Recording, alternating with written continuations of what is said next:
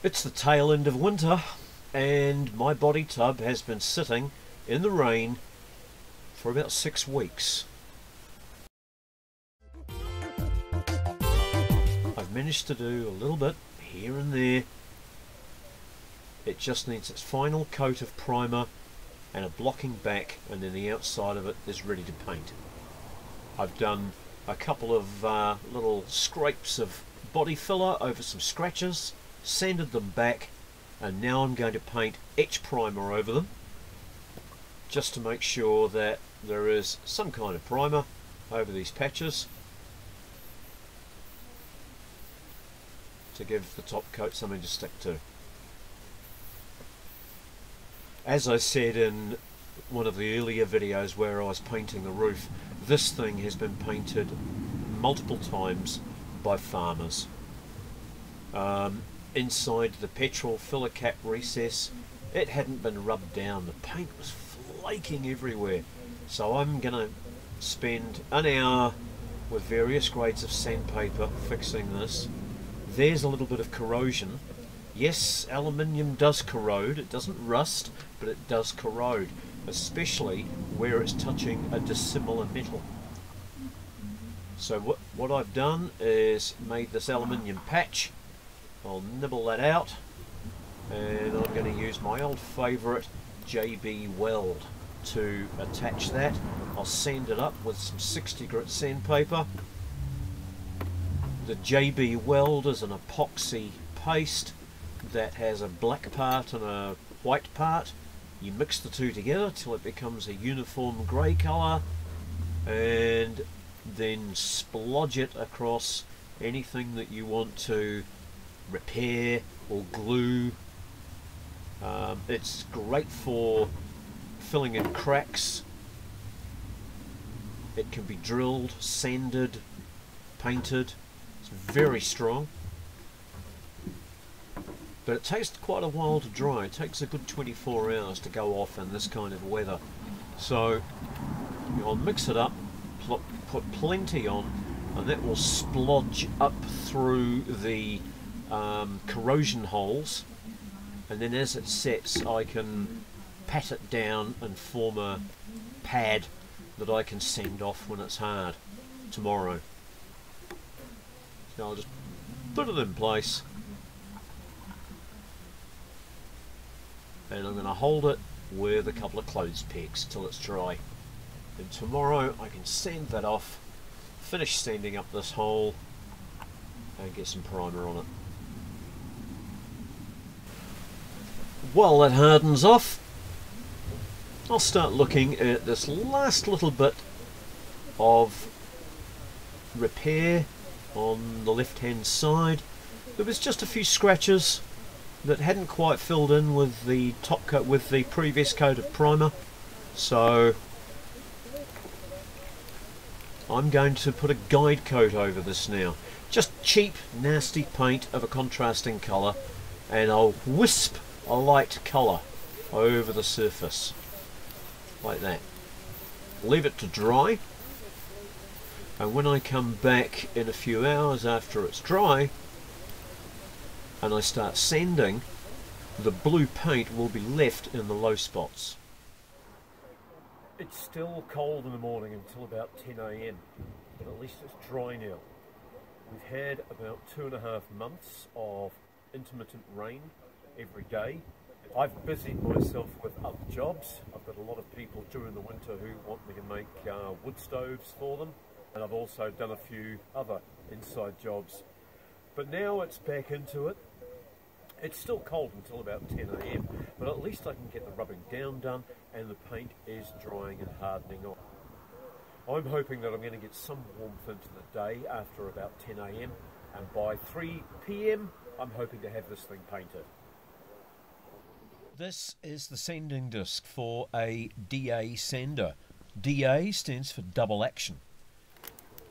It oscillates and rotates randomly, eliminating marks. The sanding discs can either have a velcro backing or they can be self-adhesive like these older style ones that I use DA is great for feathering out edges and also good for blocking back large areas to get a nice flat finish. Well, I was wrong. Today's not a painting day. It's just hit 12 o'clock lunchtime and the temperature hasn't got over 10 degrees Celsius. So it's not going to happen. What I've been doing instead is blocking back where I've guide coated here. You can see how I've worked my way along here and I'm working into this area and the whole idea is to send it until the blue disappears but no more than that. We don't want to cut through the primer and into bare metal again, um, but we do want to hit the low spots. The blue guide coat will stay in the low portions as I sand. So I just sand until the blue disappears with a block and that ensures that the panel is perfectly smooth.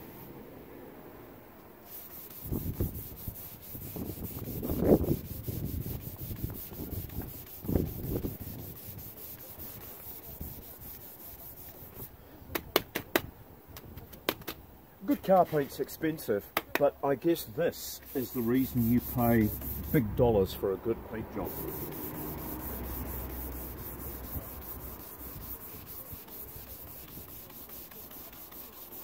It's the preparation time that goes into it.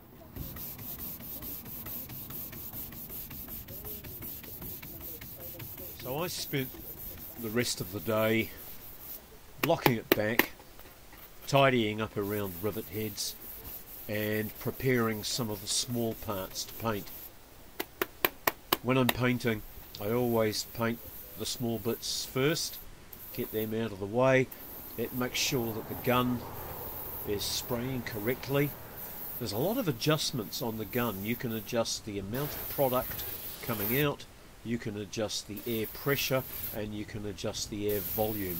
So you can see me fiddling with the gun here, just as I'm spraying small parts, it gives me chance to dial the gun in and get it going how I like.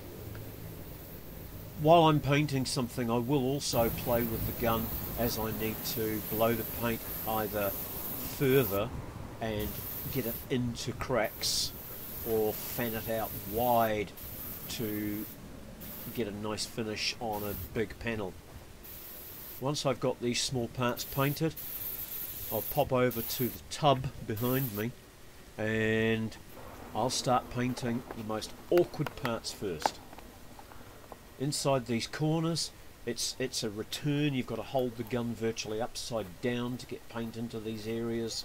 If I do it now it means that I'm not going to be risking rubbing my knuckles or the gun or the hose on freshly painted surfaces a lot of people jump in and start painting an easy bit first and then find that they've snookered themselves and they can't get into corners like this so I do these areas first.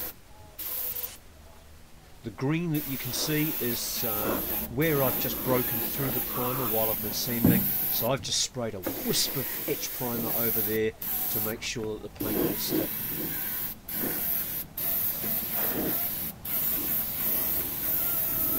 And I'll put two coats into these areas and then I'll start on the flat panels and as I do the second coat on the flat panels that will mean that I'm adding a third coat into these areas and by the time I put the third coat onto the flat panel I've got four coats in all of the awkward areas. Also it's where seatbelt buckles are going to be flicking around and risk chipping paint so having extra paint on there just ensures that it's going to look better for longer.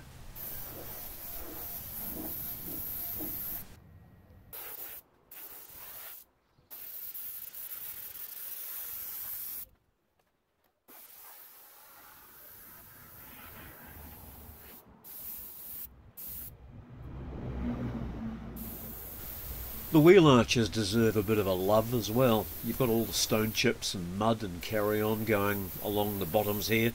So I always make sure to give plenty of paint under there.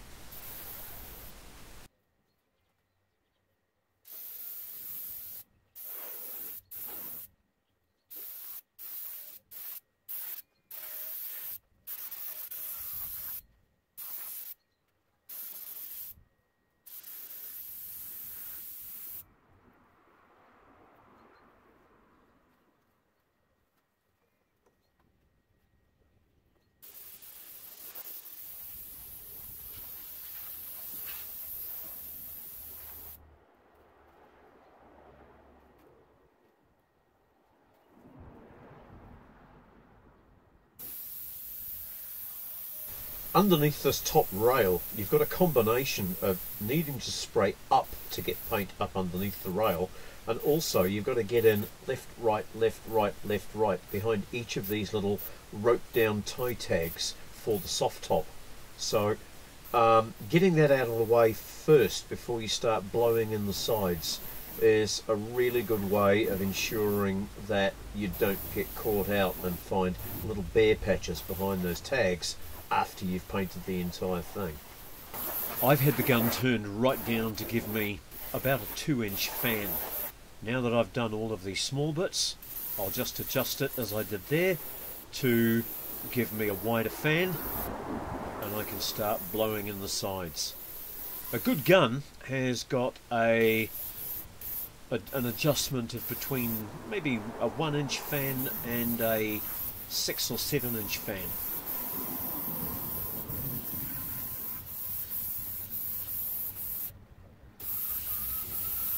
Once that's done, I can start painting the large flat areas and make it look like a finished job. But as luck would have it, it's about now that my memory card was full up and as I started to paint the sides I was painting it but not recording any video. So in lieu of that I've got a bonus treat for you. When I'm painting chassis and underneath parts I use this paint. It's really really old. It's made in New Zealand by a company called Biosynth. Very small business. The guy works from his garage at home. He calls this paint Gilso Flex but it's a gilsonite based paint. And gilsonite was the paint that Henry T. Ford used on the Model T chassis. It's incredibly dur durable, it's high build, there's a lot of good things going for this paint. And one of those things is its price. It's only $40 for 4 litres. I do apologise for not being able to show you the finished painted tub. Another video, two days time, will show me fitting the tub, all nicely painted, to the rest of the chassis. See you then!